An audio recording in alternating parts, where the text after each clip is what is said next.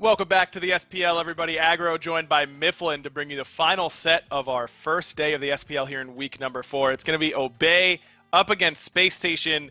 And Miff, obviously the talk of the town about Obey Alliance right now. The news that we can let out on stream last night that he is at the twilight of his competitive career, at least for this season. He says he's not willing to say he's retired quite yet, but he is going to be stepping away pretty shortly.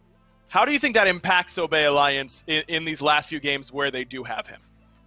Uh, it can't be a good feeling knowing that the guy you're playing with in this incredibly high tier set, especially considering they're playing against SSG, who's in that upper echelon of the SPL, having to play with a guy you know who's not going to be around for much longer, it probably takes the wind out of your sails a little bit.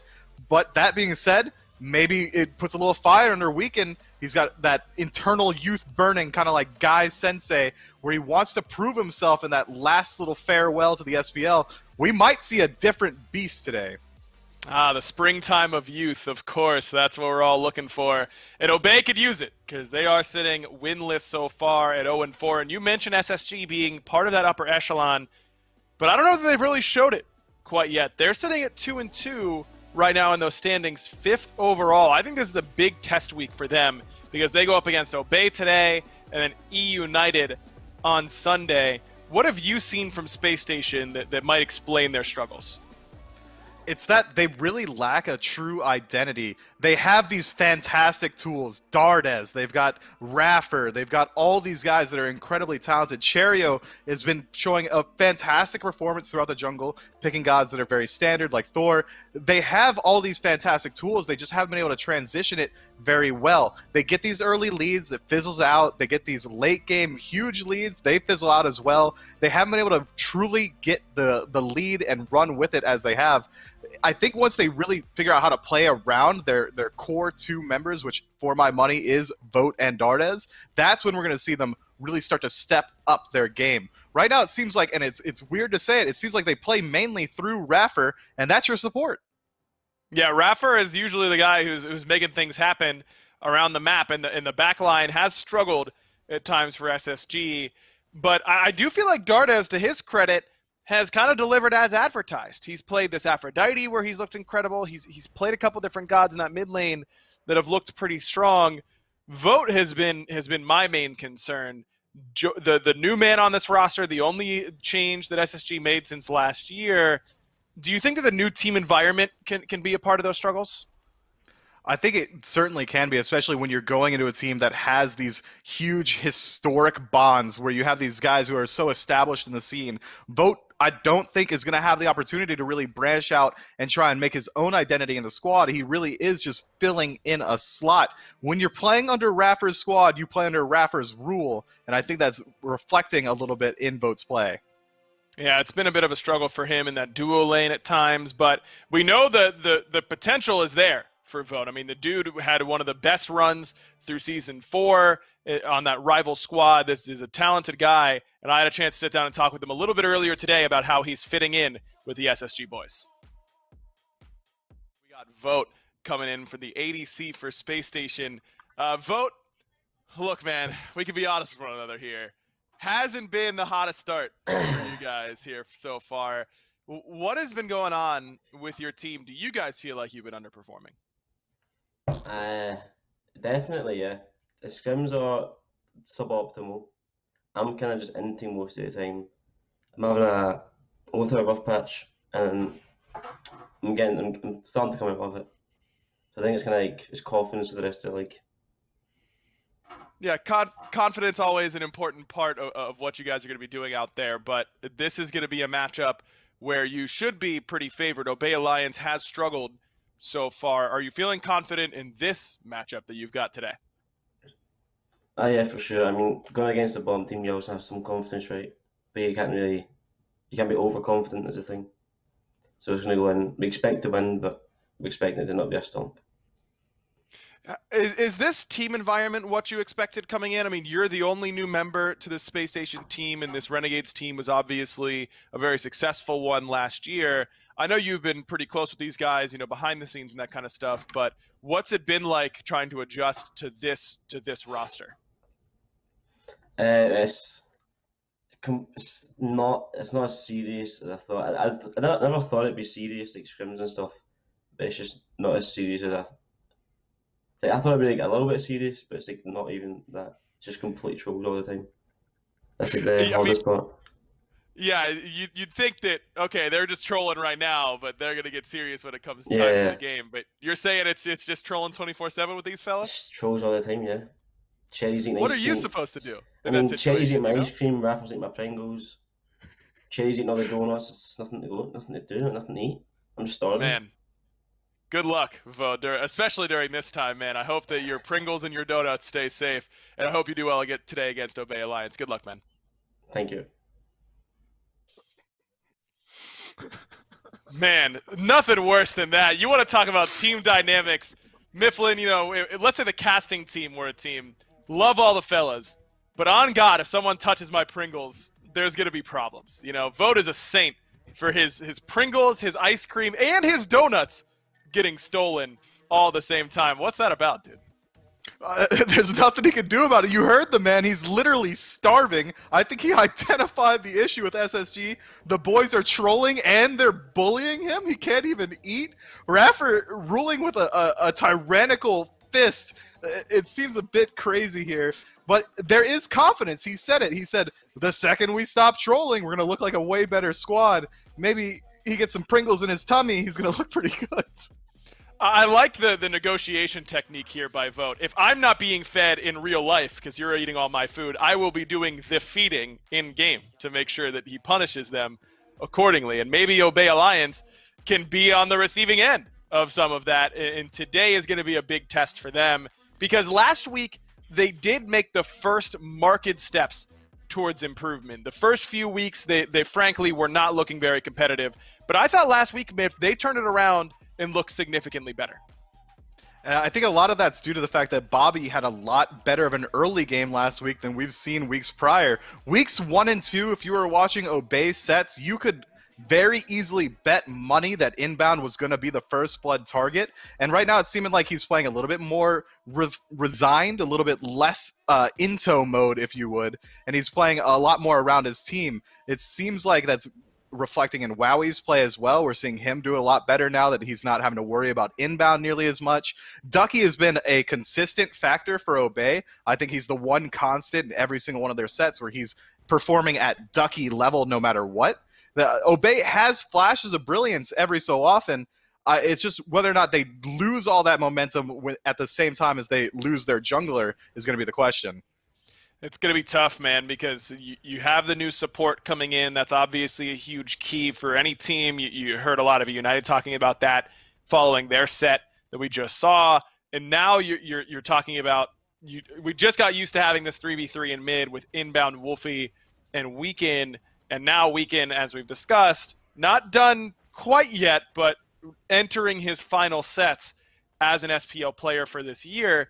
So I, I think that Obey is going to have to start leaning on those side lanes a little bit because I agree. I think both Wowy and Ducky have had bright moments. I think Wlfy has performed better than I expected coming in and returning to competitive play. I think he's had a couple of pretty strong sets there for them in the mid lane.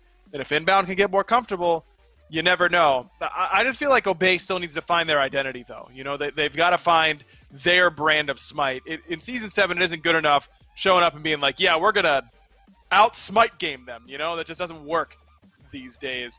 And Ducky, I think, uh, talks a little bit about that when I talked to him earlier on today. Have a watch. All right, we've got Ducky solo laner for Obey Alliance. Jamie, I know this hasn't been uh, the start to the year that you guys were hoping for, but I think that we saw some market improvement from you guys last week. Was the team feeling the same way?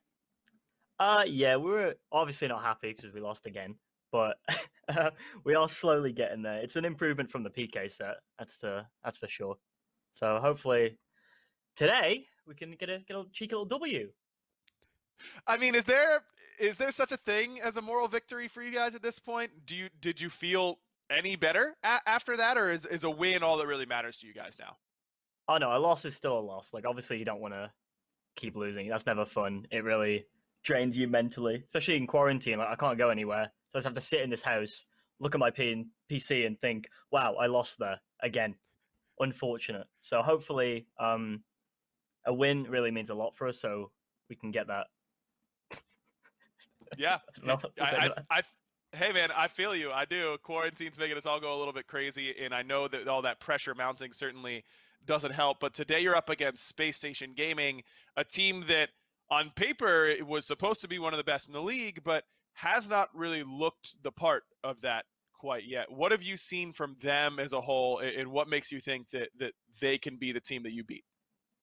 Uh, I think they have really good team play from what I've seen, especially when like Nika and Raffer are both on Guardians or CC heavy gods, because they seem to set up the backline really well.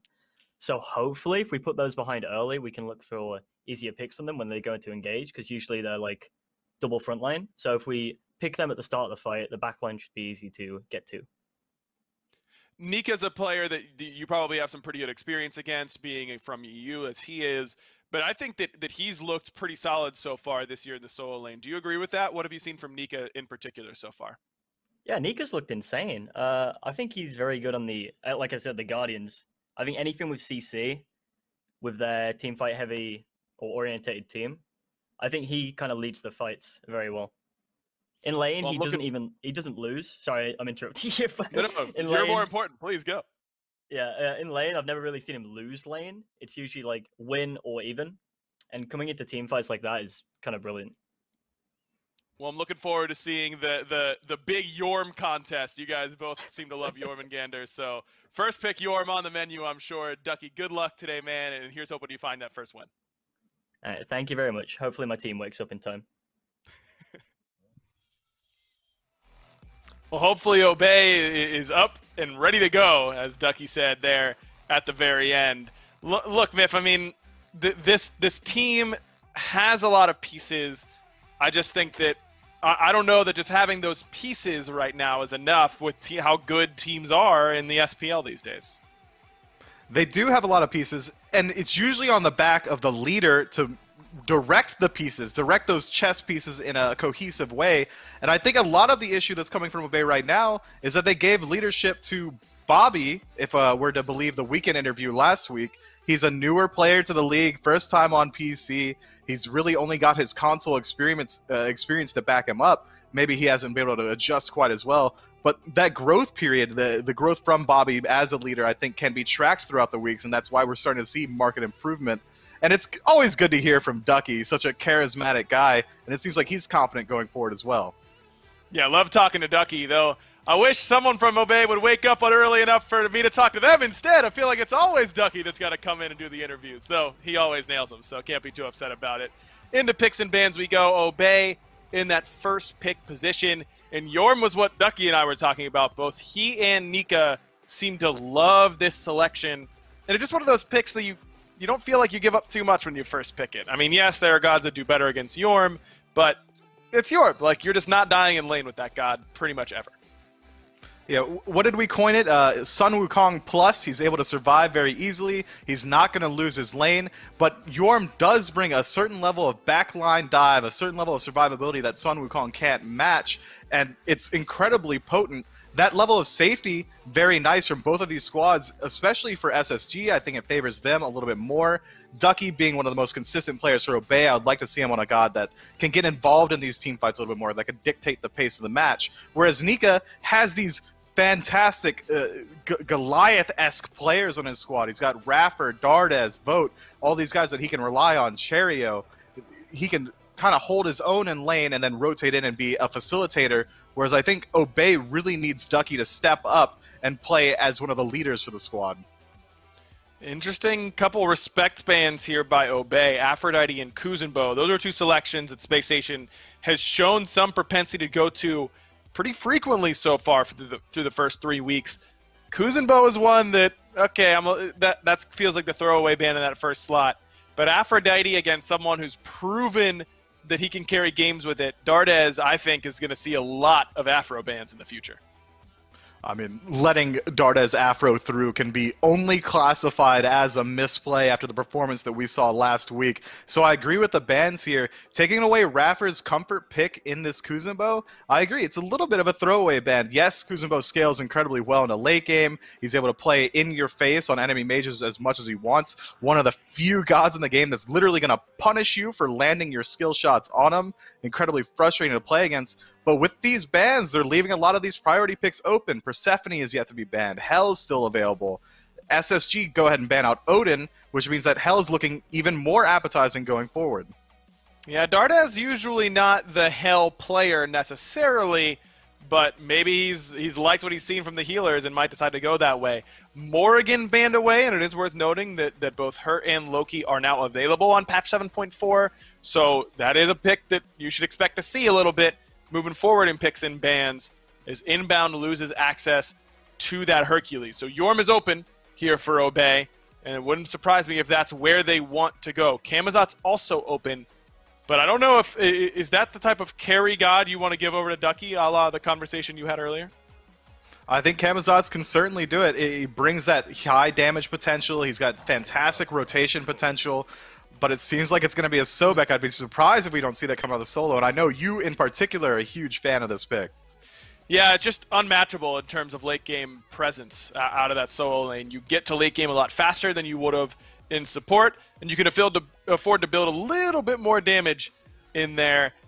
Sobek just solos carries. He initiates every team fight. He does everything that you need him to do, and he's very, very difficult to kill in the process.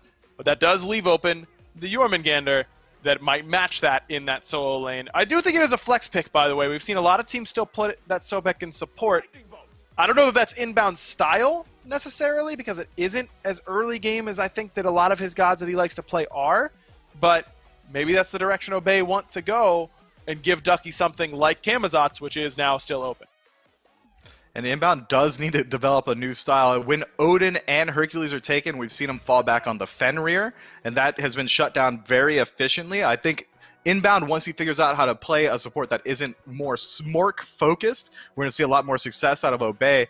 Having Ducky play the Sobek, which is I'm assume is where that's going, is interesting. He's going to be able to farm up into the late game. He's not going to have to worry about getting bullied out too much as he is going to be laning against Jormungandr more likely than not he's going to be able to rotate out and, as you said, be a huge facilitation tool for the rest of his squad. So we're going to need to see a lot of damage come out. And it looks like we will as Raijin and Ullr are picked up. Horus still available, and that's a guy that Raffer really, really likes. Wouldn't be surprised to see him take that in this third slot. I like Obey going with their backline and solidifying that with a whole lot of damage and, and pretty good crowd control on top. So now it's up to Spacestation to see where they want to go. Raffer also has one of the most storied Khepris and Gebs in the league. So if they want to go with something a little bit more defensive, SSG has that option. But Athena is what they're hovering. And Athena's pretty potent here for Spacestation because this is a straight up flex pick. It can go to Raffer, but I almost think it's it's safer to assume that this is going to Cherryo in the jungle. A lover of Guardians in the jungle and a great setup god for this Merlin in the 3v3 for my money, Athena's Taunt is the best non-ultimate ability in the game. It's free setup. If it does go into the jungle, it's very easy to slot a lot of CDR into this Athena. And her damage is incredibly good as well. With the global pressure coming out, it's going to be very nice for her to pressure out maybe even solo lane and then rotate over to the duo lane if the enemy Obey decide to go towards Gold Fury. So there's a lot of potential there. I would prefer to see it in support as Obey pointed out, they're looking to shut down those frontliners. Uh, having Athena be your frontliner, that dash is going to be very hard to shut down. The global is going to be a very good escape path, and it's going to facilitate the rest of the carries incredibly well. I would prefer to see SSG pick something more uh, uh, in line with standard assassin jungles, as Cherryo's been having a fantastic season so far. I mean, Hun Batz and Thor, two of the most banned gods against SSG in particular, as you can see on your UI. So, no, one of those will be open unless SSG and Obey decide to trade bans on assassins in this matchup, which certainly is a possibility right now. But I love the Horus ban from Obey. We saw how potent this god can be in, in the right player's hands, and I think it's safe to say that Raffer is the right style for that support warrior. So now SSG do decide to take Camazotz off the board pretty late in this draft, but still they get it out of there just in case. So now things like Serqet are open. that both Weaken and Inbowned play pretty well. That could be a pretty solid flex pick. SSG has also prioritized that Serqet for Cherryo, so wouldn't be surprised to see that pick go in the in the bottom four here. That Anhur ban is interesting to me. I, I wouldn't associate that with SSG. That's not a pick that I really imagine they pick very often, especially considering Hou Yi is hmm. still available, Jing Wei is still available. We have these huge priority ADCs that could still be picked up. Loki being hovered by SSG? Kind of no love chance. Not not even touching it. No no chance. We're getting trolled. I'm not I'm not having it. I I actually think this Anhur ban is very smart because it isn't for vote that they're banning that away. It's in case they want to put Merlin over to vote and give Anhur to Dardez, who tore up the entire SPL all of last year with that Anhur in the mid lane. Bit of a, a different angle of attack here from Obey, and I think that's actually a very intelligent ban by them as SSG go kind of where you expect towards that Thor, and that's going to be for Cherryo more likely than not in that jungle, adding extra global pressure to an already very strong CC heavy draft. It's going to be very easy for Merlin to find consistent damage with all the CC coming out. They're not sacrificing any dive as they do have the Jormungandr. Obey picking up Pele in return. I like that. It's going to be very easy for her to get into the backline if the entirety of SSG's comp is going to be focused towards diving. Thor's going to dunk the backline. Athena's going to dash in for the taunt. Jormungandr is going to be doing World Serpent stuff somewhere. Pele can have a very easy time using Volcanic Eruption to find this Merlin in the back. And Terra there, so a little bit of ambiguity between these Guardians. Probably Terra supports Sobek solo, but those could always be flipped. I don't know though, Miff. I mean, as a jungler, I feel like against a, a team that has Athena, you need someone that's going to kill the enemy backline before Defender of Olympus ever matters. Does Pele really fit that bill? I don't know that she does. With the auto attack cancels, the ultimate burst damage, Pele's got insane burst potential as well as AoE lockdown. If anyone moves up to try and stop her, she can knock up people around her. I think Pele is one of the go-to backline divers, especially if you're looking to blow up someone instantly. Uh, the age-old adage when I used to pick Pele is, if I trade myself for literally any carry, I've done my job. And I think that's probably what Obey's going to be going for here. We'll see if Weaken can do his job up against this Cupid last pick for SSG. The twilight of Weaken's SPL career, for now, is the asterisk. Let's throw it over to the casters for game one. Thank you very much, Agro and Mifflin. Dolson and Hindu Man for the rare Dolson Hindu cast here today for Obey up against SSG. And, and Graham, I kind of want to pick up right on that Weaken conversation. Obviously, kind of twilight of his career notwithstanding, a lot of the success that we saw from Obey last week was a little bit more aggression from Week, and Remember, he was helping his team find first blood. And I'm curious if we're going to see a similar Week in here today. Yeah, it's definitely an interesting point, right? I mean, he, he announced yesterday this could be some of the last games we see him in the SPL. A weird time to do it for my liking as well, just before you go into a set against SSG. so it's kind of it's going to be a bit of an awkward situation in this one.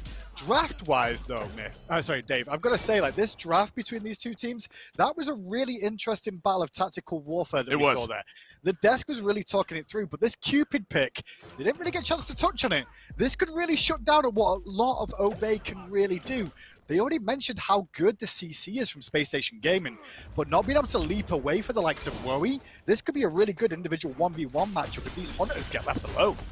That's tr- uh, so true, uh, especially with Wowy again. Uh, side weekend being so important to, despite not a win, a, a- seeming improvement from Obey, and I think SSG seemed kind of privy to that, starting to pick around some of the success that Obey has had. And I think that lends itself to to a conversation about Ducky as well, and the Sobek over in that short lane and the solo mm. lane up against Nika. We figured Jormungandr would be a contested pick here it seems like they're trying to set up Ducky for success the longer this game goes on. Yeah, they both bring the same sort of thing to the team composition, though, right? Both Guardians, both going to be able to potentially dive the backline, survive, absorb damage. Sobek's recent buffs have really allowed him a little bit more of an asset towards his team again. He wasn't far off already. I mean, two forms of CC, a, a CC Seems immune good. ultimate that'll last forever, give him regeneration, and some sustain in the kit. Yeah, Sobek's pretty good. Just a little bit more of that. I will say, these two teams, though, Dave, on paper, with how they performed just lately, there's a lot of comparisons. Raffer, Inbowned, are tied at the moment in terms of deaths in the SPL. Second up, Inbowned, sorry, Cherryo and Weaken, they're also tied on deaths. They are the bottom four players for deaths in the SPL. That's true. The difference is we get to really see what Obey need to work on and what Space Station are doing to still find wins with the same sort of flashlight.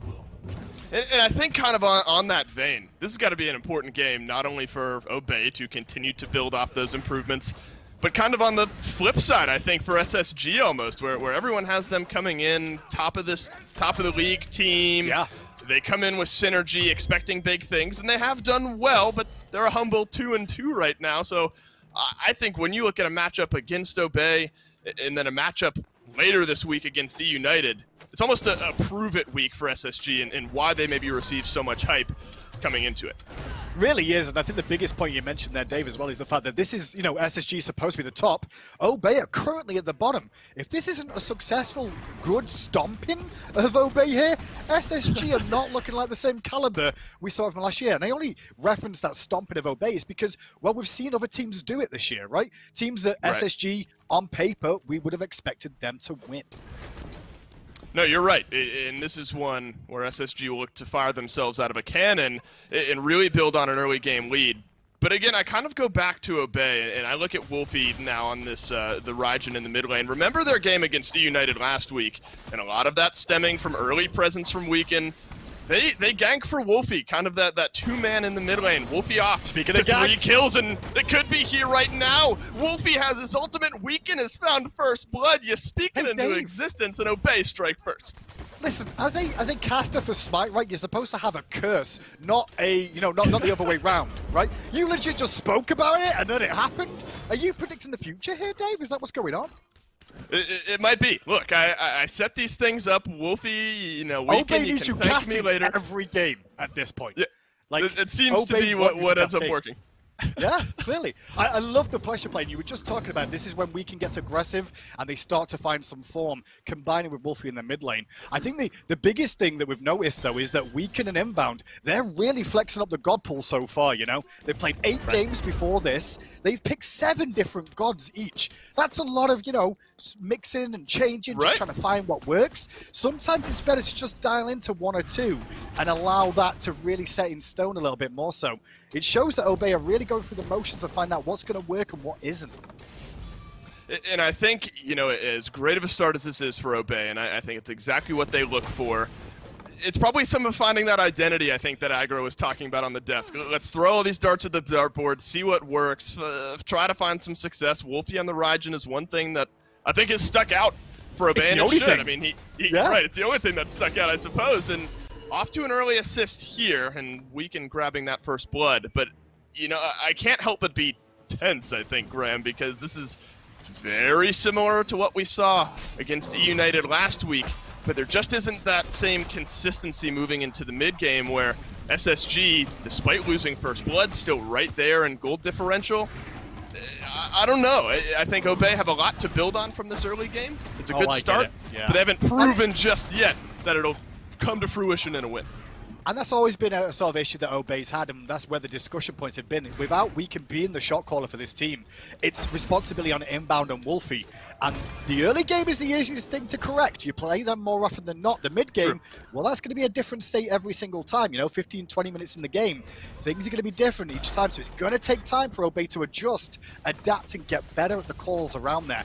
The Obey, the in the early game, though, that's where we're seeing the signs of life. And I, I Yep. kind of get bored of using signs of life, but we kind of have to because that's where they have found You're right. results. And touching on the, you know, the Raijin again, I mean, the Raijin for Wlfy in mid lane, that's the only consistent pick they've really had alongside Anhur for Wowy. Both of them Right. picked four times. Outside of that, every other role mixed up a lot. But Cherio's going up here. And he comes right back down, and he's found some good damage on onto Weaken. That's going to be the first kill in this game Oh, no. for SSG. Ducky has the He's knock dead? up, but members of SSG Dude. collapsing. See you later, oh, God. Ducky. Back into Oh, the corner behind the FG pit, and SSG find a couple of kills. Listen, we talk about Winion sometimes, Dave, right? But there was a Winion that tracked Ducky through that jungle there. that was a gank from Weaken onto Nika that got reversed by Cherryo. And when Ducky tries to escape, that minion, that minion just blocked his way. He ate the charge, and that was the end of Ducky's life with his ultimate being down. So quick turnaround from Spacestation to find that 2-1 now because of it.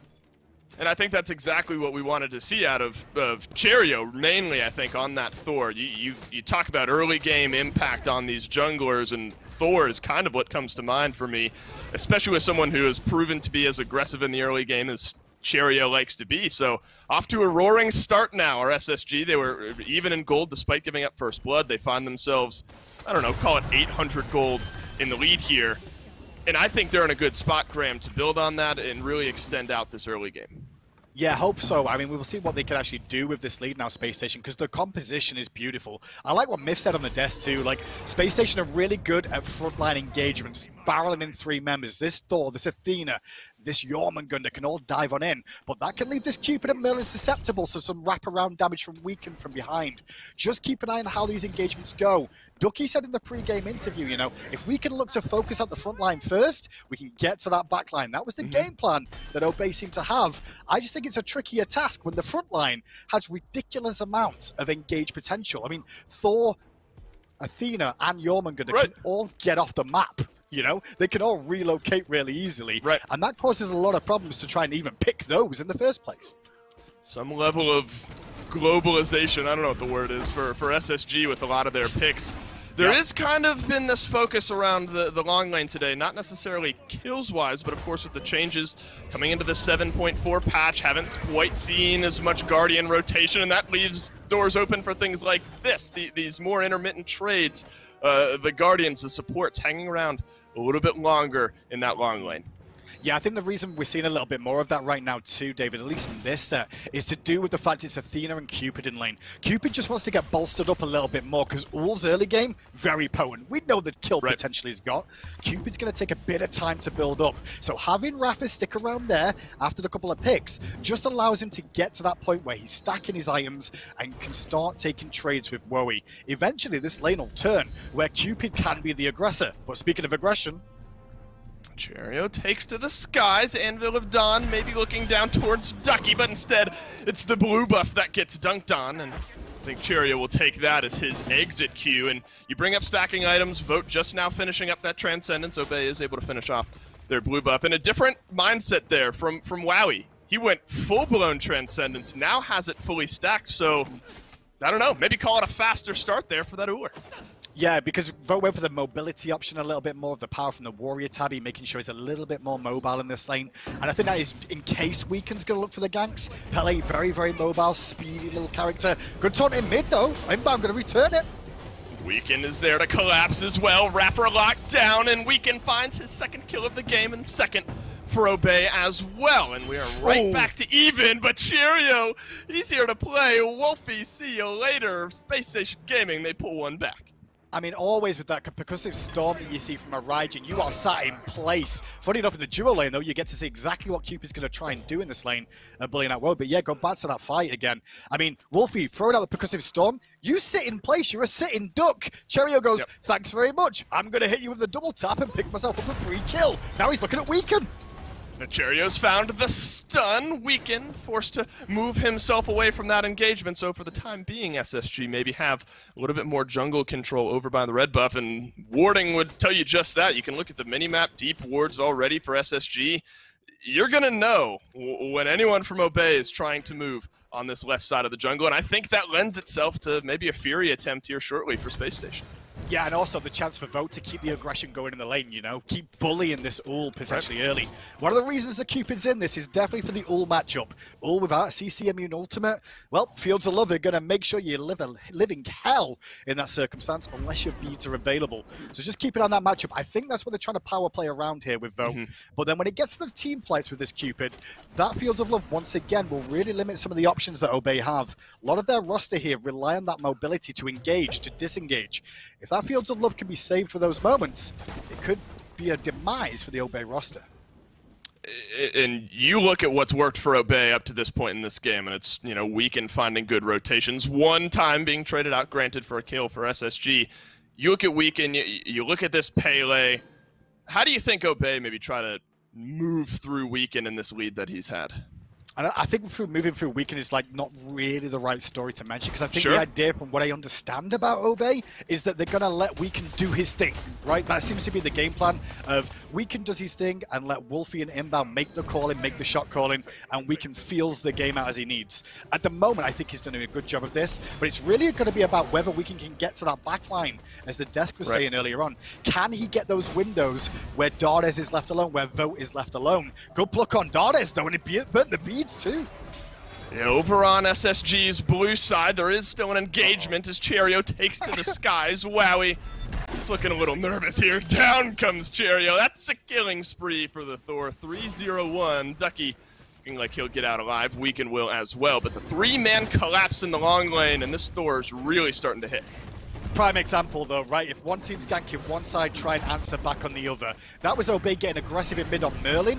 Merlin escapes the noose, gets over towards Nika in safety, but then in response, Spacestation rip away Wowy's life. Pyromancer though in trade is pretty good for Obey. Bad news is, Spacestation recognize that now and they're gonna get a Gold Fury.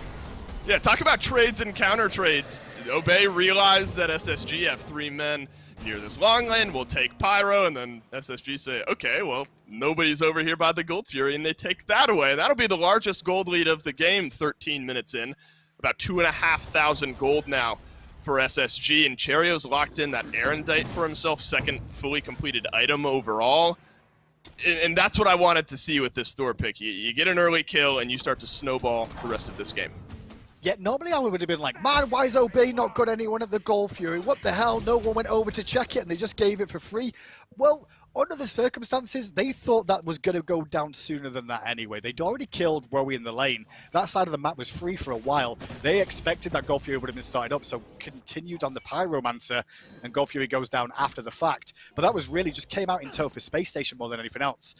Dada survive mid, they get the kill on Worry, and it turns into a gold lead as they split the map up. Gold Fury is obviously more valuable than the Pyromancer at any stage of the game. Well, almost.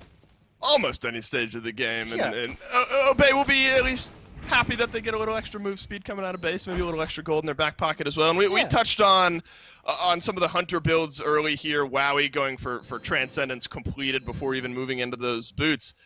I gotta say, uh, Hindu vote picking up the the Jotunn's wrath. That stands out to me.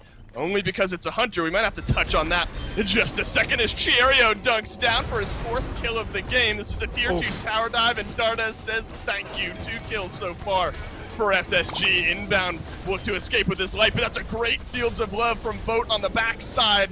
Inbowned has to burn the actives. Nika and Dardez, though, capitalize for the kills. It's a four for none, and SSG, they continue to pull ahead.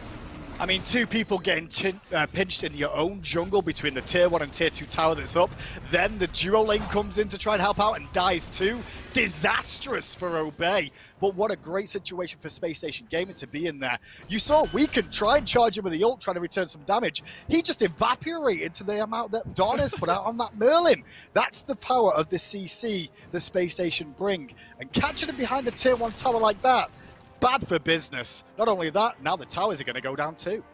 Yeah, and, and that's kind of where my mind went next because I think in at least the games we've seen today, a kill lead hasn't meant everything, right? I mean, you look at our, our, our first set of the day, there's maybe a kill lead for, for Sanguine, but gold lead is for E United. In, in this case, SSG are, are winning kind of in every facet of this game. They're, they're 5k gold in the lead at 15 minutes.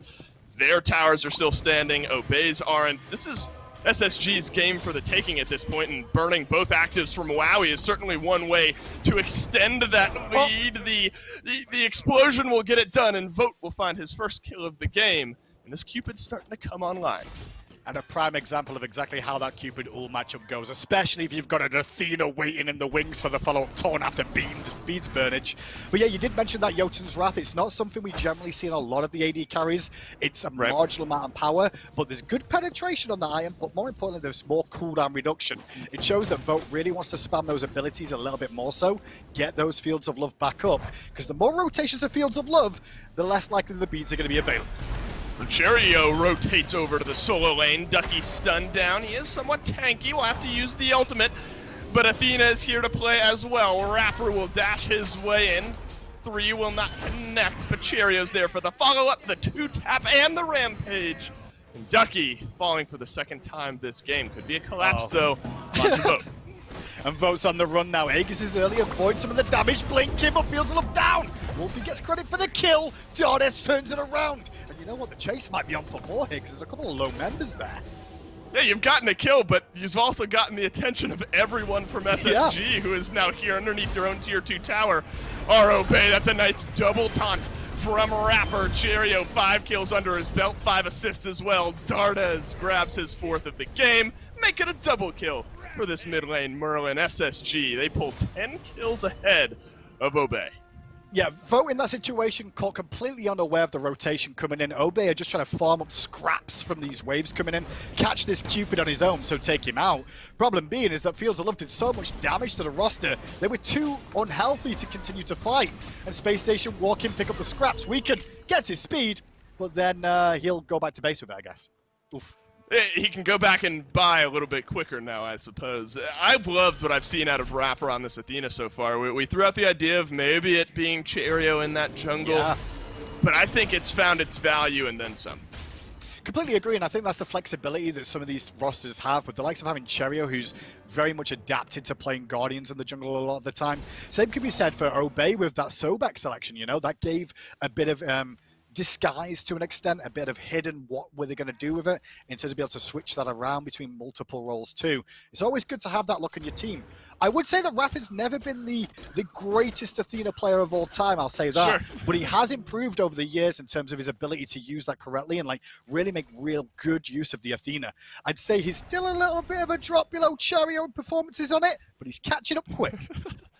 It is going to be the Fury now that SSG maybe look towards don't have quite as deep ward coverage as they did early in this game. Obey have to be careful, though. I mean, you, you saw what Obey found in one kill onto Vote. The immediate collapse from SSG was enough to kind of complete the sweep. There is some maybe shallower ward coverage on Obey's side of the map. A collapse onto Vote could be imminent. Ducky blinks through, misses the pluck. Vote will drop down the field of love grab the uh, the stun and probably more damage than Ducky returned onto him.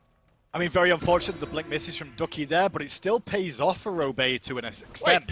with with Vote actually using his ultimate there to defensively use, it. he's not going to available for this fight at the Fury. Well, Cherryo might need to rotate through. Instead, at the moment, he's just going to push down that tier 1 tower in the long lane. He'll go back and might have to use Anvil of Dawn to rotate into the fight. Raffer has found the taunt onto Inbowned. It's Obey who start and finish this Fury, but can they get out alive? This Run. would be a big win for them if they can. Nika Run. takes to the Serpent. He's swinging on through. Ducky has to go underground as well, and it looks like SSG might think twice. We can pull back. Dardez grabs another kill. The tier 2 tower is no safe haven for Obey. Love the play from Obey, right? Get the Oni Fury and dip, dodge, and dive out of town as quick as possible. Makes so much sense. That corner, though, at that tier 2 tower, they turned around to return some damage. That just gave Spacestation that window to take a couple of lives. With we can get it taken off the table, this makes it even easier to strip away even more towers. So that Oni Fury is not going to be as useful as they once had. I love the call from Obey. They found the window, they get what they need, but they don't get out for free. Spacestation punished them, and they punished them hard. The global gold from the two That's tier 2 towers and the speed buff in the jungle. That hurts. That's enough for a 12k gold lead now, 20 minutes in to this game. And- I think next objective outside of Phoenix's uh, and Towers, of course, has to be this Fire Giant. And I, I'm, I'm wondering now if SSG have really gotten themselves so far ahead in this game, if Obey even consider moving out, or maybe Obey think the opposite, where the only chance back into this game is an FG steal. I mean, honestly, the last Fury we just saw, I was kind of 50-50 in my head of like, is this a good idea? Should they be on Phoenix line at this point? But the problem is, is the levels, right? The level discrepancy is huge here. Three levels in solo, five levels in jungle, three in mid. You've got to get farm. Like, SSG are not going to let you continue to farm at the Phoenix line forever. You've got to try and get out there and get some farm, but in doing so, you leave yourself open.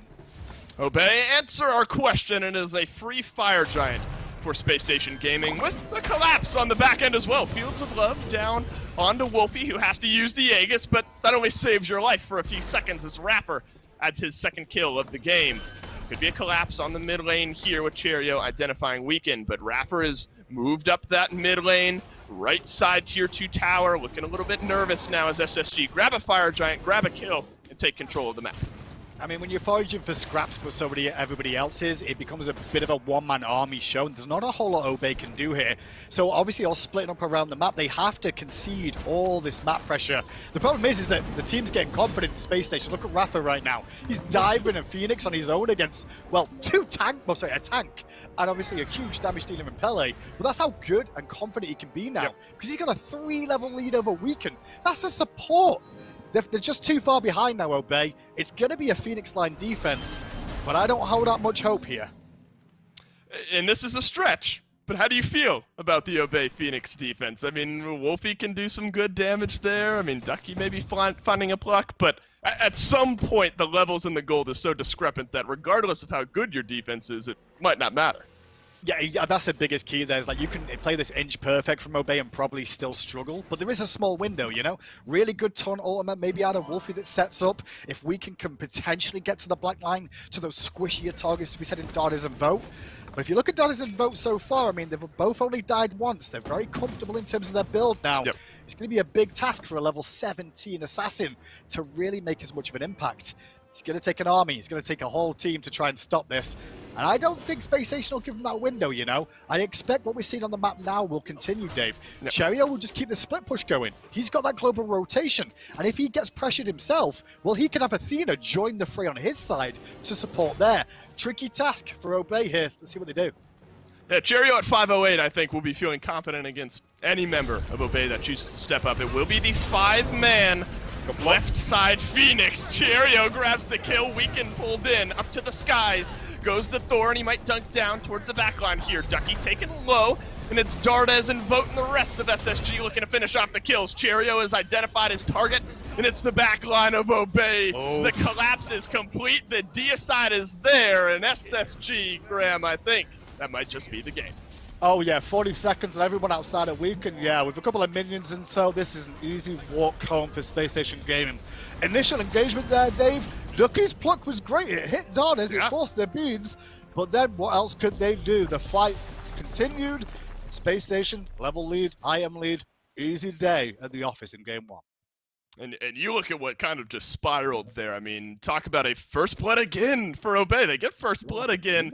And then it's the rotations from Cherryo. Dardez comes online. I mean, that is clinical from SSG. And I think in large part thanks to that Thor. Yeah, and I think the, the big talking point as well with Weaken like announcing that he may be retiring. I think everyone's like, is this going to be his Yeah. last hurrah? I don't necessarily think it's going to be that quick. Maybe he's been a bit preemptive with it. We'll find out in the coming weeks. But at the same time, you know, everyone's going to write it off as a weekend failed step. I think the team as a whole, the early game is good. What they're doing in the mid game, they're all lost. They, they don't know what they're That's really true. doing. They've got to keep working on that, Dave. It's going to take time. You can't do it over four weeks. Trust me, I've seen it.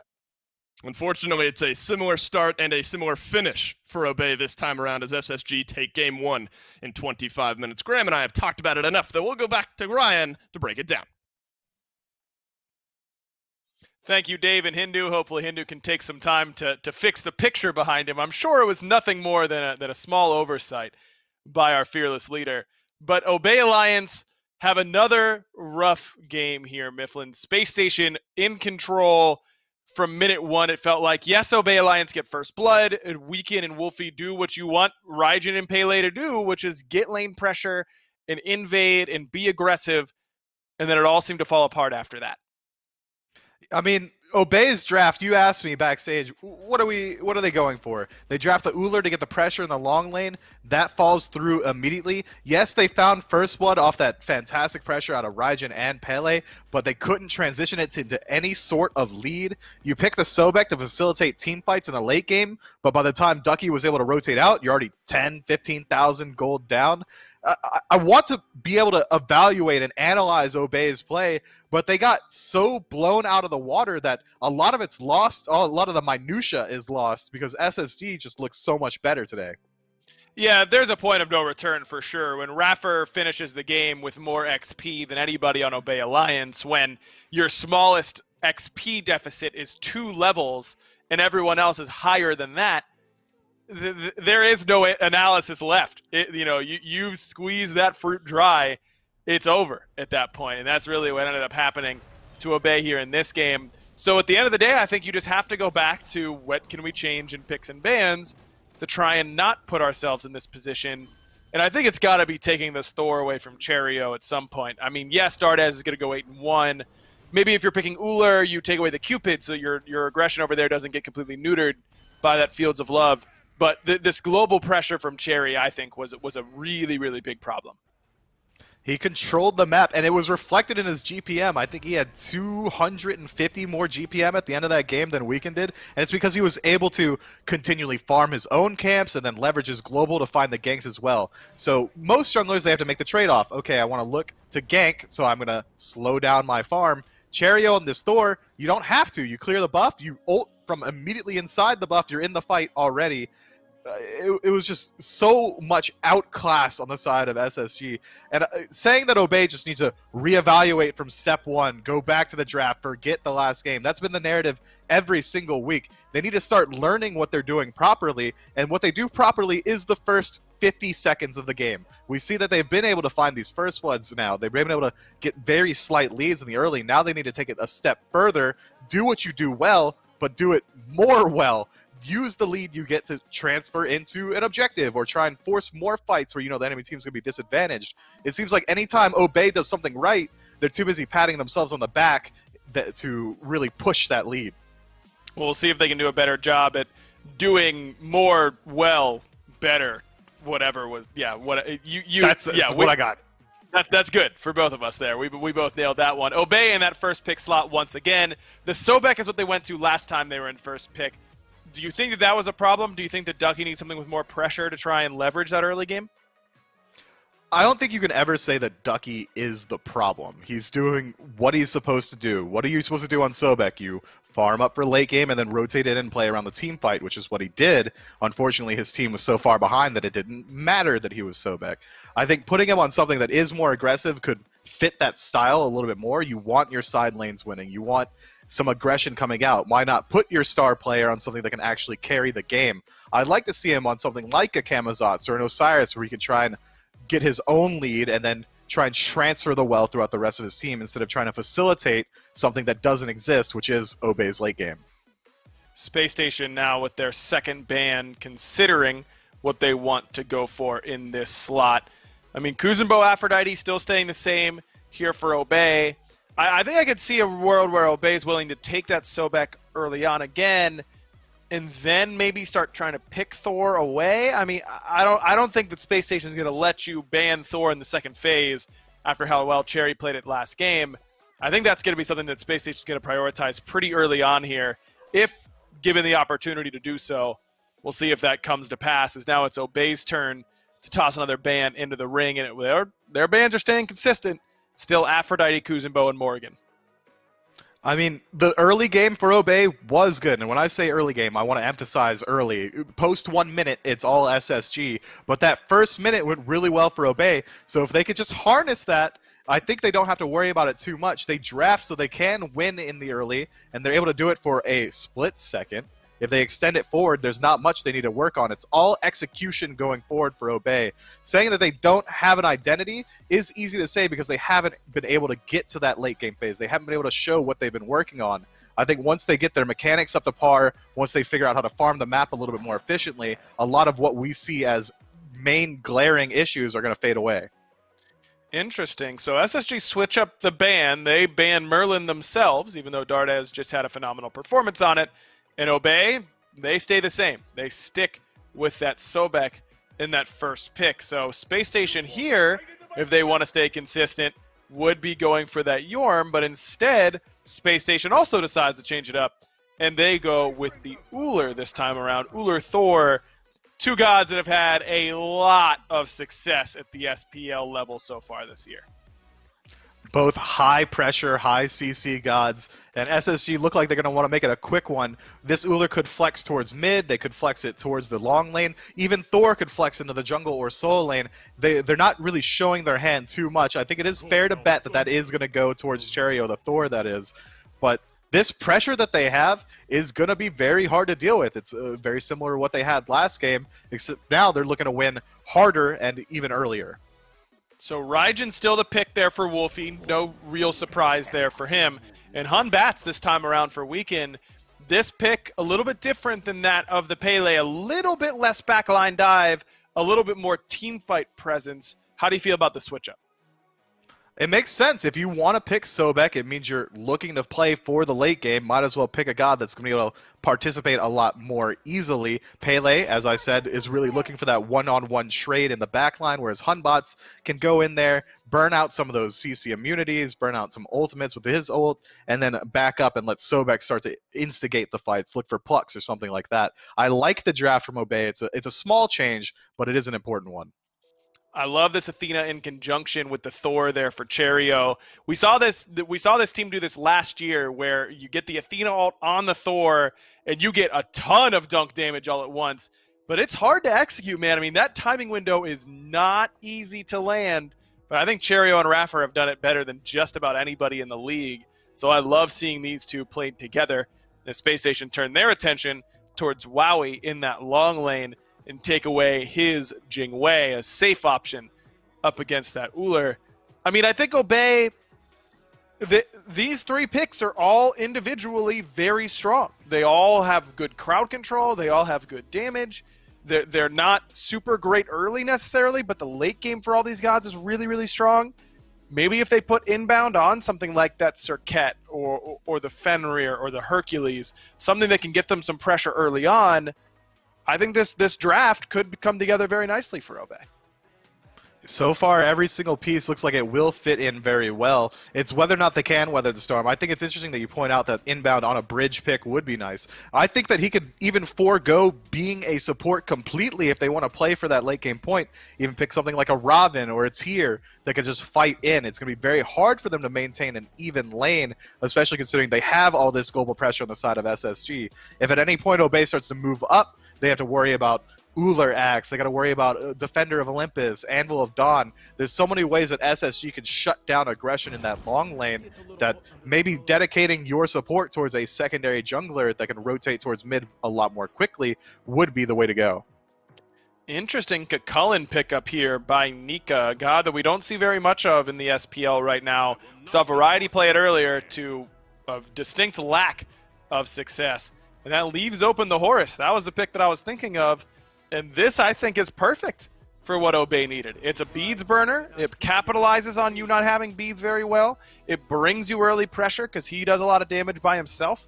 If that paired alongside the Hou Yi, I think this is a phenomenal five gods that Obey have put together here fantastic kill potential in lane off the back of the Hou Yi. That lockdown is going to be incredibly good. It's a fantastic reposition tool. Kind of crazy to think that Horus made it all the way to last pick, but power to Obey, they run away with it. This draft might be the best draft Obey's ever had.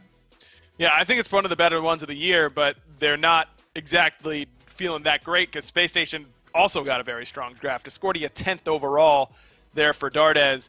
And that Discordia passive, either on the Ullr or on the Cu Chulainn, is going to be a nightmare for Obey Alliance to deal with. You think Obey has got it in the cards here, Miff, or you think we're going home early? Uh, you can never count out someone burning their youth. Weaken could very easily open the fifth gate here and push forward. I'm rooting for him. We'll see if he does it. Game two. What? SSG what did you say, Dave? What was that? What does that mean? I, am trying to find some semblance. What is the fifth gate? Is that an what anime that? reference? Is that what I'm missing? Like, it's I gotta be right. A Naruto, I want to say, is what it's from, but I'm probably wrong. Like, Well, I don't know. The the burning the youth, I suppose, uh, made sense. Okay, yep, you're right. Okay, so so the beauty of Did working from home is is that we can that you know, right? Was quickly look at things. It is the the eight gates are are in Naruto. Oh, Uh, and apparently each gate is a thing.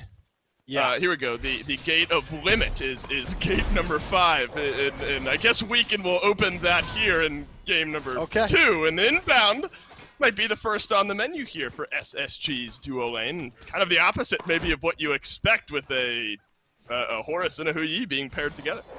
Man, the Weaves are going to be so proud of me for getting that reference. I'm in shock myself more than Hey, you else. Was knocked it like, out of the park. Well, It's Mifflin. It must be something. Turning the attention towards the game, though, like I'm, I'm a little bit concerned about one thing more than anything else, Dave. You know, if Inbowned's going to be a shot caller, right, and like he's going to be someone that has to lead from the front and be the shot caller for this team, as well as stepping into the support role in the SPL, he's got he's got to get some support somewhere. And I think honestly, sure, Horus is a great pick here. And I'm not just talking about Horus, but his god selections, right? Like hmm. across the this is the tenth game, I believe, of the SPL. He's played nine different gods at this point. Nine. Like you need to kind of narrow that down a bit. Cool, it's great to have a really deep god pool and stuff, but like Right. constantly changing it up every single time, it makes it tricky, man. Like look at Wlfy for example. A lot of focus towards Raijin. Makes sense. That's giving the Hey, give Raijin Raijin. cozy and mid. Yeah, you want to kind of do the same thing with Inbowned in my eyes. It's great to be flexible, but I think it comes at a cost sometimes that I don't think Obey realised that that just puts more pressure on you. And I think the other aspect is you're trying to keep the enemy team on their toes a little bit with your picks, but at the same time you're keeping your own team on their toes because they don't know what they're going to get with this time. You're right, but, and, and I think from from Horus though, I think to be fair, we've seen nothing. Well, maybe not nothing Oh, but success, and right now it might even be last of success. He gets taunted in. Come on, there's the caster's curse for Obey. Yeah. Raffer finds the first kill. I knew it when you said it. It's going to happen. And that's that's just the pressure in the lane that you're going to have with the Ullr early on. You know, like Horus can be great in the early stages alongside a Hou Yi, but nothing stops the power of the Ullr combo. And not only that, the Athena alongside him. I mean, the That's true. Athena's back in the meta.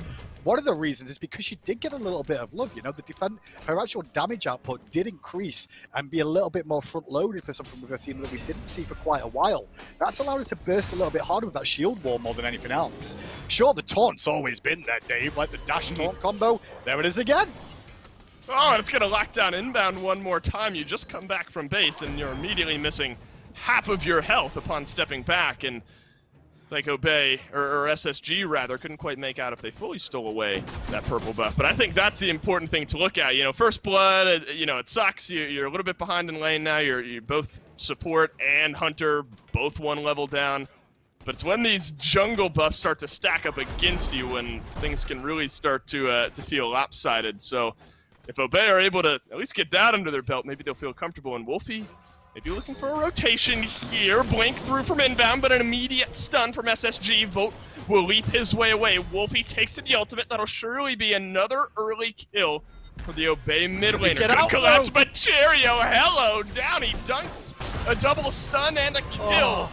That's great play from Cherryo. Wlfy with no mana.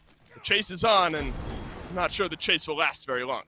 No, it won't unless he gets some support soon from Wormy and the Fear No Evil. Oh, but Wilson turns it around.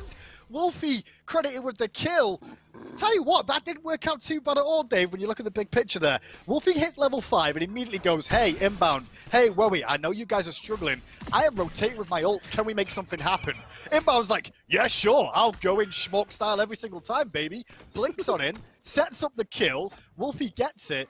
I think the biggest disconnect there was Spacestation were just doing their red at the same time, right? So that Yep. pick and left ends up getting collapsed on immediately. And Weaken wasn't level 5 yet. He went to his speed, made sure he got that so he could hit the level 5, so couldn't get to that fight in time. The idea from Obey was there. Spacestation got away with a bit of murder for my liking, but it paid off both ways around. Yep, tied up at two kills here. Yeah, and th- that's what I meant, of course, when I said the chase might not last long. I was clearly Yeah. predicting Weaken to collapse in, drop the Fear No. Evil, get the kill. Absolutely. We all saw it coming, Dave. Come on. Right, right. The, the the script was written. You've read the script, I, have read yeah. it. Right. I'm fully fully in tune with that. But it's it's it's a tale as old as time with what we've seen from Obey, and and more specifically Wlfy. You've got two kills on the board now for this Raijin. Can you move this to, to mid game success? The the eUnited set last week says no, but now there's a different opportunity. Wlfy with a couple kills under its belt, and admittedly, a, you know, while it might be even, a good start for what we want to see from Obey. Yeah, the pressure's on Wlfy's shoulders now to like catapult this lead that he's been able to develop for himself with the support and that rotation that he did. It was an individual play that paid off to support his team, but now he's got to keep that pressure going. And in doing so, Dave, he's going to get the focus of Spacestation Gaming. So they're going to gun for that Raijin just a Yep. little bit harder now. And that's when you need Obey to rally behind him. And if they're going to collapse on Raijin, they need to either find results elsewhere on the map or counter initiations that support and make his deaths worthwhile. Keep an eye on it. I expect why the focal point now from Spacestation, knowing that's the situation there? Oh, and for the next 30 seconds, Wlfy is a little bit uh, uh, more in danger, I suppose, as he's waiting for his beads to come back up. But I'm not sure that's something SSG will be able to capitalize on at the moment. But, but you can see where Cherryo's mindset is, much the same as what we saw in game number one. Let's get deep wards on the o- Obey side Yeah, of the base. Let, let's keep this long lane safe, and let's open up the map for some rotations. Inbowned has been taunted in once more. That's a knockup, but no kills this time. And, and look at the options. With that many wards on the right and left hand side from Spacestation Gaming here, all that red, where can we can really gank? Like, he can't gank Duo. They're going to see him coming half a mile away. He could be in Timbuktu and they'll still see him right now, right? Like, there's no way you can get over there. So his options are gank a Cullen in the solo lane with a Sobek. Honestly, don't think you're going to have the damage output to do that between the pair of them No. or look for this Discordia in mid that's going to have a Thor, that's going to have an Athena as backup options. It makes the options for Weaken very limited in the jungle here, but that's just good wall plays from Spacestation to make sure they're controlling that left hand side and limiting the options of rotations.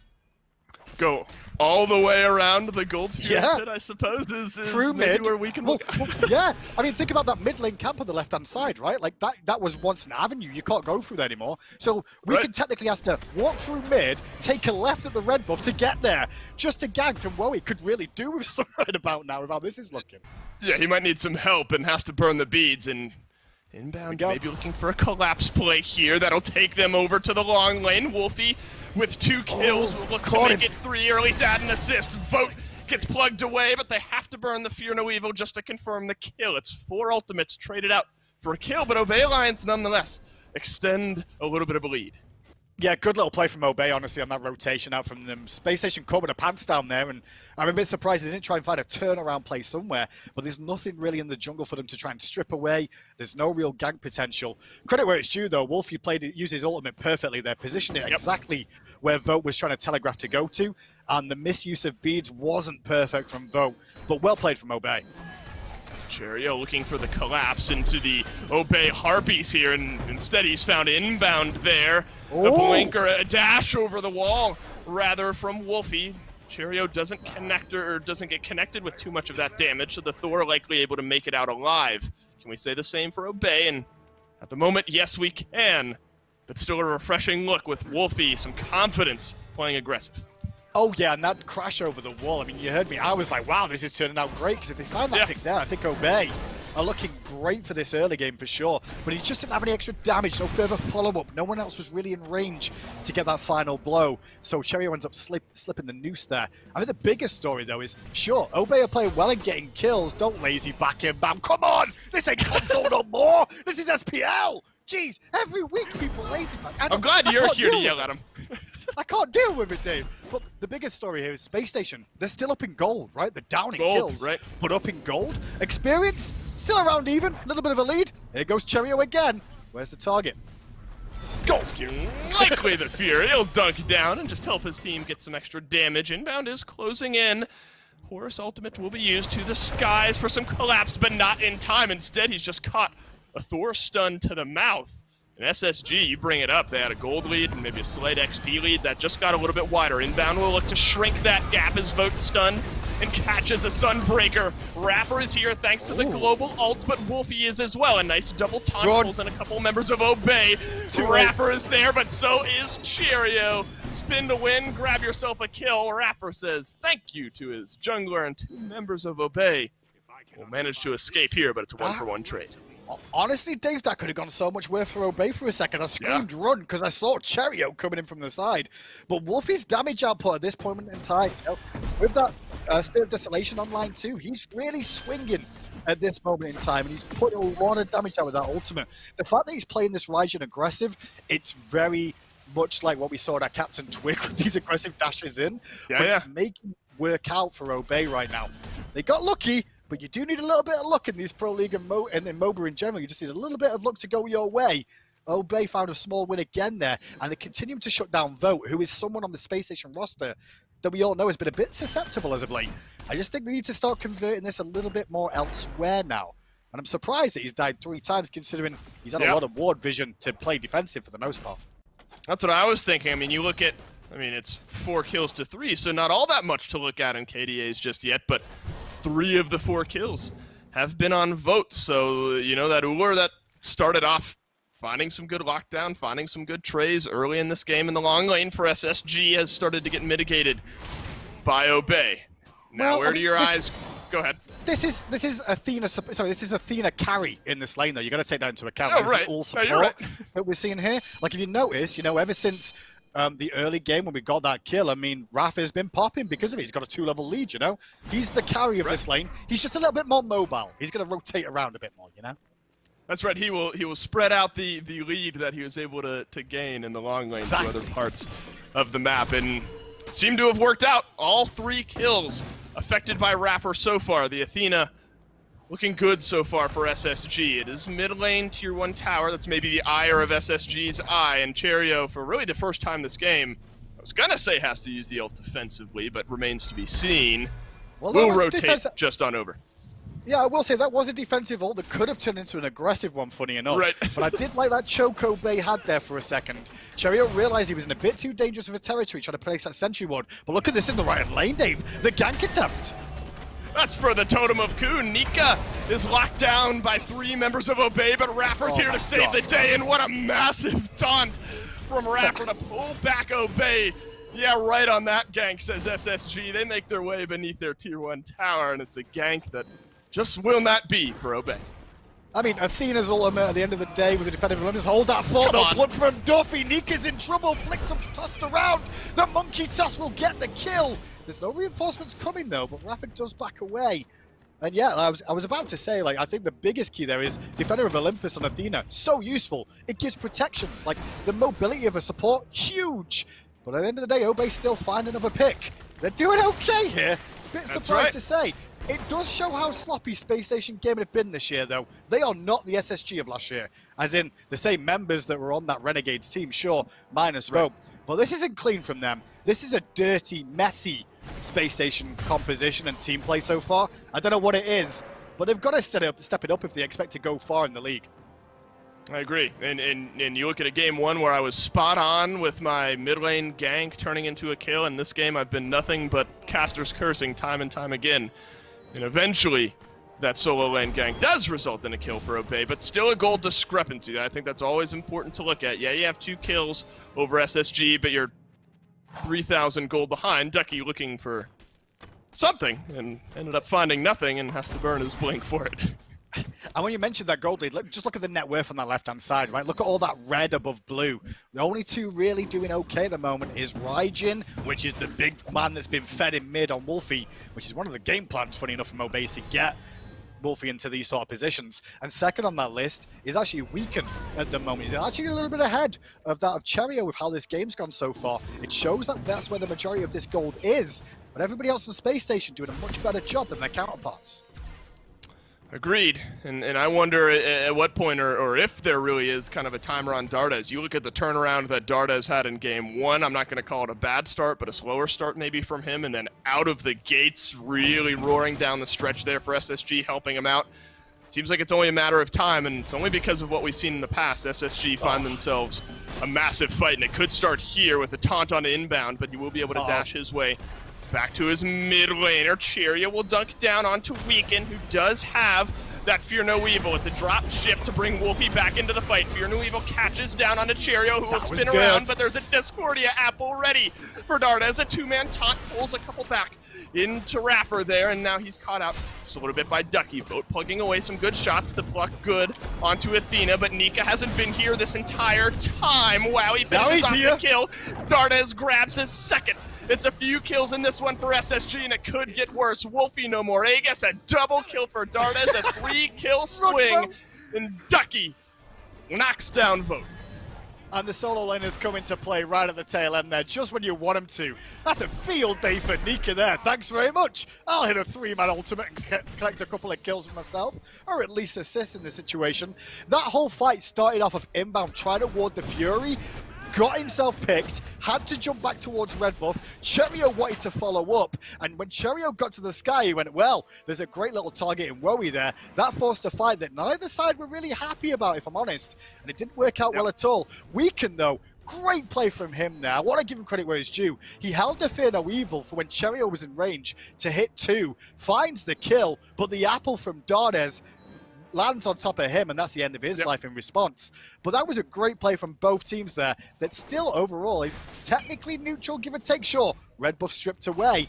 Maybe Obey, though, can answer back with his Fury. Just see how confident they're feeling. Wlfy did end up dying for the first time in this game, but added another kill to his repertoire here. Raffer has been pretty spot on with some of these taunts. That's some good rotation from Dardez as well. Obey secures the Oni oh. Fury, but a dunk from Cherryo locks down Leave. A few members of Obey. Inbowned tries to escape, but that ship is grounded. Vote trying to redeem himself after an early exit from the previous team fight will snag a kill. Obey Alliance low health bars. Ducky feared out. Nika gets the kill. The leap Oh, from wow. Weaken, but the stun from Cherryo could be a four-man fight, and it sure is. And this is the cost of the Gold Fury sometimes, right? Or doing fights around the Fury. Because that was a good example of Obey doing what they went there for, which was get the Fury. The problem was Space Station went in for the fight. They went for the cheeky steal, but as soon as the Fury's down, they engage and they run Obey all the way back to that tier 2 tower. One by one, they fall as their health bars just drop to the wayside. Like, there's not much they can do in that scenario other than turn tail. I think the difference here is that Obey even need to turn and go, all right, fight, which I don't think was the call, or run away quickly. Because a lot of the times there, it felt like Obey were trying to help each other out, and it just put them all in a worse situation. Funny enough, though, it's not punished as bad as I thought it might have been, because I did think a Fire Giant could have been on the table there. But at 17 Yep. minutes in, I guess the respawns are just a, a little bit too low for that to really happen. Just too quick and maybe not enough damage for SSG, but uh, I don't imagine it will be long before they maybe turn their eyes there. But you kind of look at last game; it was really the last last thread of hope that Obey had, maybe taking away a Fire Giant, and they didn't even contest it in game number one.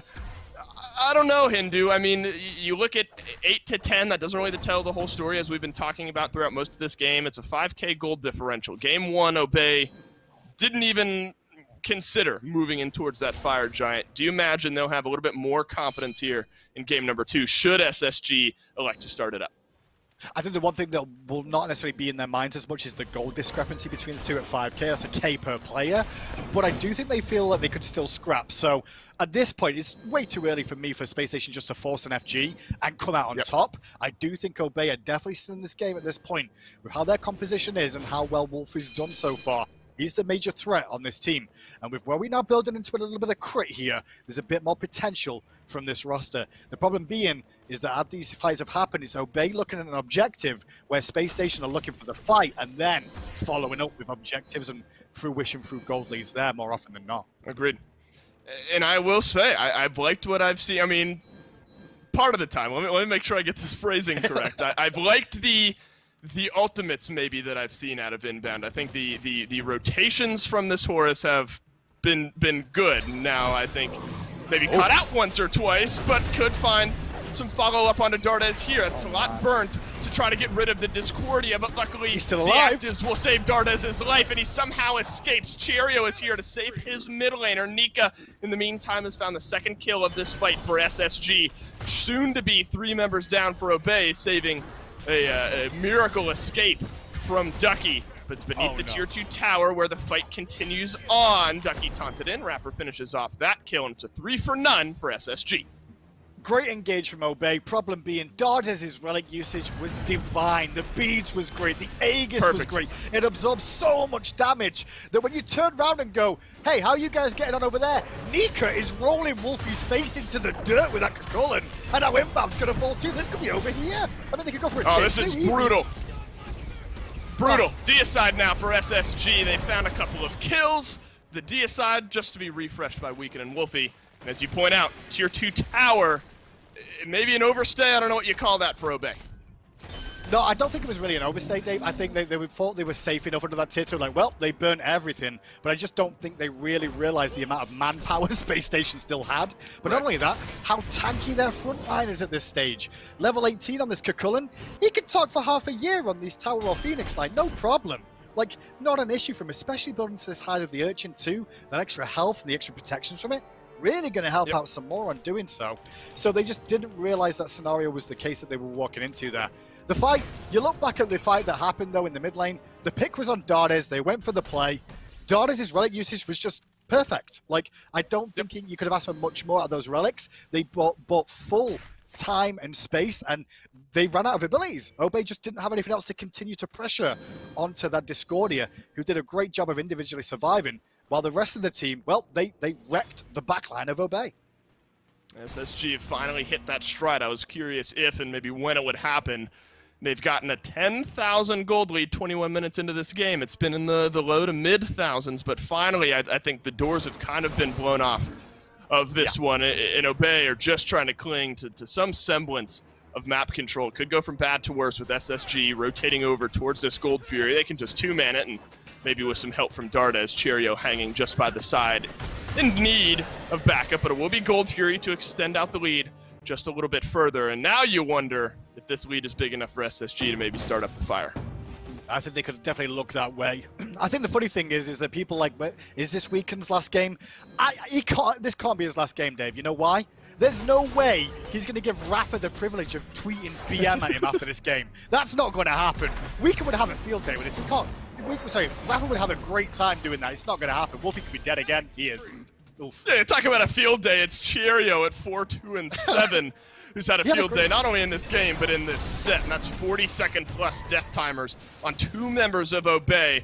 Wowy, I think, smartly is just going to try to get some map control, some map pressure for Obey going. But that's a free fire giant paid with a little bit of interest by Obey to the tune of two kills.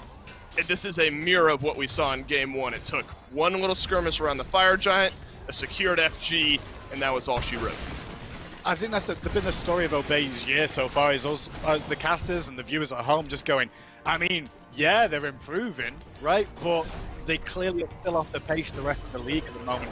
And the problem is, is that, you know, that's not going to get any easier. These teams are all no. going to work away and continue to grow. Like, sure, Obey might be able to close the gap, but it's it's going to take a lot of work for these boys, and I think that's the biggest thing that a lot of people thought about this roster at the start of the year.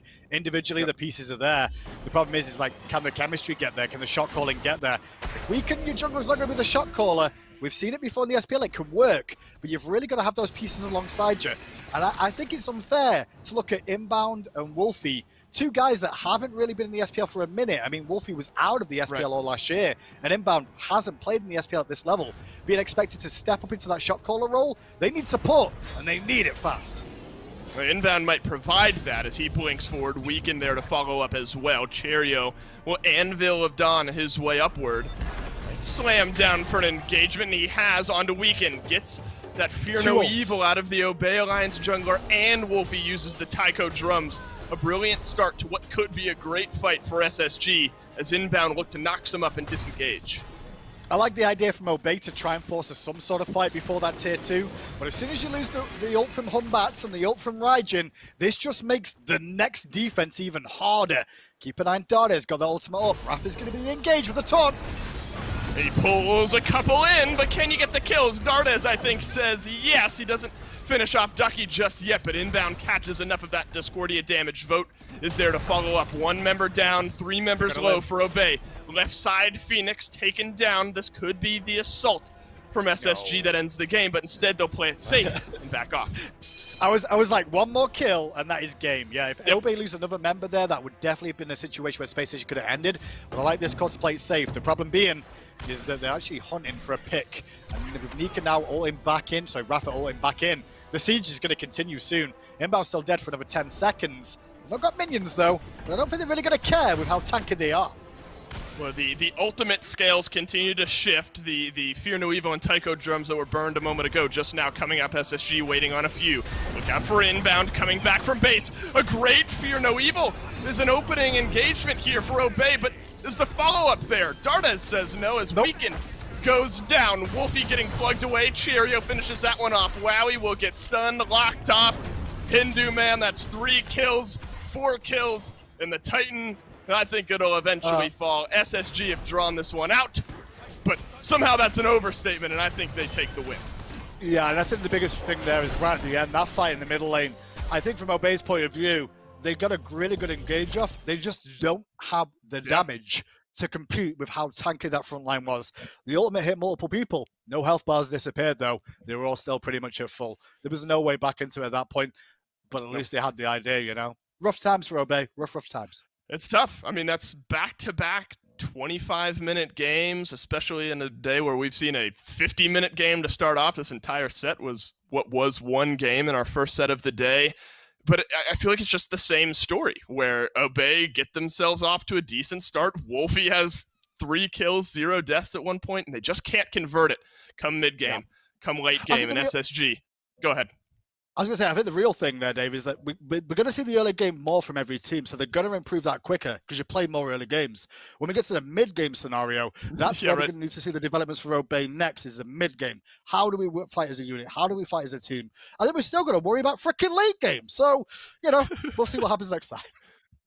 Yeah, I know. Obey, they, they've got something to build on here, and unfortunately, catch a loss to SSG to round out our Friday of Smite action. That's been Dolson and Hindu Man on the call. We'll go back to the desk to round things out. Thank you, Dave and Hindu. Uh, a, a close but no cigar sort of situation for Obey, at least in terms of looking better than what they have previously. Game two does look better for a little bit right, Mifflin? I mean, they they were in it. Look, game time very similar, I know, but they had more competitive fights in the mid game than they did in game one. They did have a few better fights. It, it's so hard to have an analyst desk about Obey not read like an obituary statement because these guys aren't looking good. Uh, Hindu broke it down perfectly. Their early game's getting better, but it doesn't really matter because everyone's early game's getting better. Their mid game doesn't exist, so they need to develop that. And then afterward, late game, I don't think Obey's made it to late game yet. Uh, they're looking bad. They're getting better, but their their rate of improvement isn't enough to catch them up to the other teams. They're going to need to see some changes soon, and they are going to get some changes soon. Maybe they will get a lot better, but Weaken certainly isn't the beginning and ending of their Obey's issues. No, certainly not. But I think a fresh face will maybe breathe some fresh air to this team, but that, that clearly seems to need it. Wlfy four and five, certainly the best looking KDA there. He was three and zero oh at one point, and then that big fight by Gold Fury ends up setting him pretty far behind, where he takes his first death. But I think uh, Hinduman brings up a great point in that Wlfy is stuck to Raijin every time he can get him. Inbowned has played nine different gods in ten different games and I think that I agree with what Hinduman's saying. That's hurting this team. Maybe, yes, Inbowned can play all of those gods, but they haven't found wins trying a whole bunch of different gods for him. Why not try and stick to one thing and, and master that before you try and move on? And that's part of the difficulty. Let's say Inbowned does decide to stick to one character and they finally start to see some success. What does Obey do when that one character gets banned out? You can't come into the league and start developing a style immediately. You have to kind of have something going for you from the offset so you can continue to expand and evolve from there. Right now, Obey's base point, they're starting so low off that, again, their rate of improvement can't match these other teams. I, I love the members of Obey. Weaken's a fantastic streamer. Ducky, fantastic dude. I've competed against Inbowned for a long time. They're all fantastic competitors. They're all great dudes and players.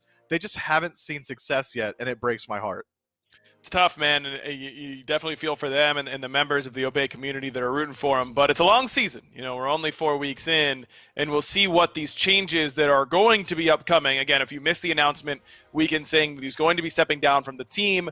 Whether that's effective next week is dependent on whether or not they find the suitable replacement in time. He may play for another week or two until they find the right fit for their squad. But there will be a change happening to this Obey Alliance roster but let's look on the, the, the more positive side of the coin. Spacestation have look a lot better today, and, and yes, it isn't against uh, the defending world champions or something like that, but you can only beat who's in front of you, and, and PK or SSG, excuse me, did that very well today. They did. I mean, it's hard not to say that every team doesn't look like the best team when they're playing against Obey, but I think we saw a lot of pieces come together. The SSG's team fight, although a little bit sloppy in the early game, they started to even it out. They they clearly know how to play with a lead. They did it two 25 minute ish games. These guys have a lot of talent, and I think we can glean a lot of info from that interview from the pregame. If the trolling stops from SSG, if these guys really put their minds to the game, they can be that super team that everyone expected them to be preseason. Yeah, if everyone stops eating Vote's ice cream Pringles and, and donuts or whatever it was, then they're going to be just fine. We'll see if the main culprit will admit to it on the interview. We've got Cherryo standing by. Well, I think with a throw like that, Cherryo, the only place to start is who's eating Vote's food. Uh, no comment on that. Cherryo pleads the fifth. No comment from that. Uh, but but I want to kind of focus on game two specifically before I kind of take a high level look. Wlfy off to a 3-0 start that game uh, on the Raijin. What's the team communication like there, and uh, how do you guys turn around what was I won't call it rough, but a, a slower early game start from you guys? I'd say we weren't like 100% focused like on whether we would be getting picked here. We just assumed that like chill a bit, you know, we'd farm up and fight uh, gold or something. But you know, once we're like, okay, after Dardez died, we're like, okay, let's focus up here. Like, not let none of them get a lead or a snowball or anything. And then Right. we just knew that eventually we'd win the game anyways. And I think you had a, a fantastic set here today. Couple of Thor games, both of them looking great. Some good dunks, plenty of setup. But but on a whole team level, obviously it's been maybe up and down from what you guys expected this uh, this split to start off on. A, a good bounce back week for you guys after a tough set against Radiance to round out your, your set last week. Do you think this SSG team is starting to hit your stride? Definitely not. I don't think we're at the point where at our peak or even close to our peak at all. Like, like I'm not trying to be uh, toxic or anything, but just the fact we beat No. Obey doesn't really mean much. Like we Right.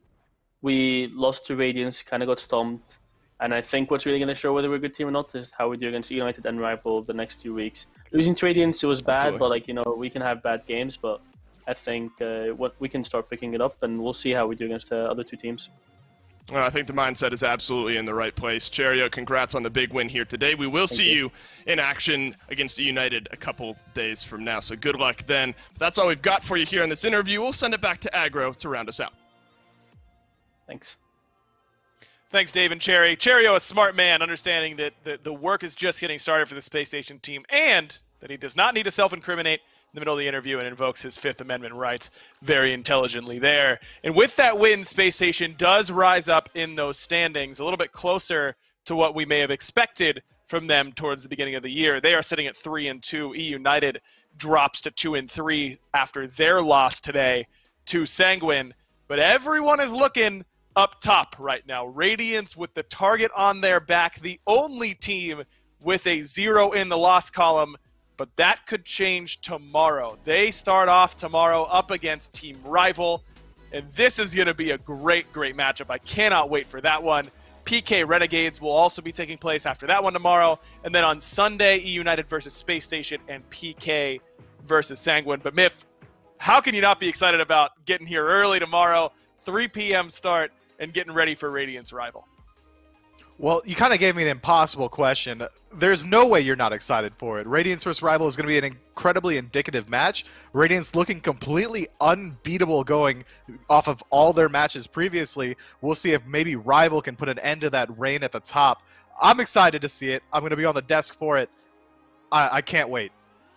Man, it's going to be a lot of fun. So make sure you're here right on time tomorrow, 3 p.m., same channel as today. From all of us here at HiRez, thank you so much for watching. Remember, be sure to be washing your hands, keeping your hands away from your face.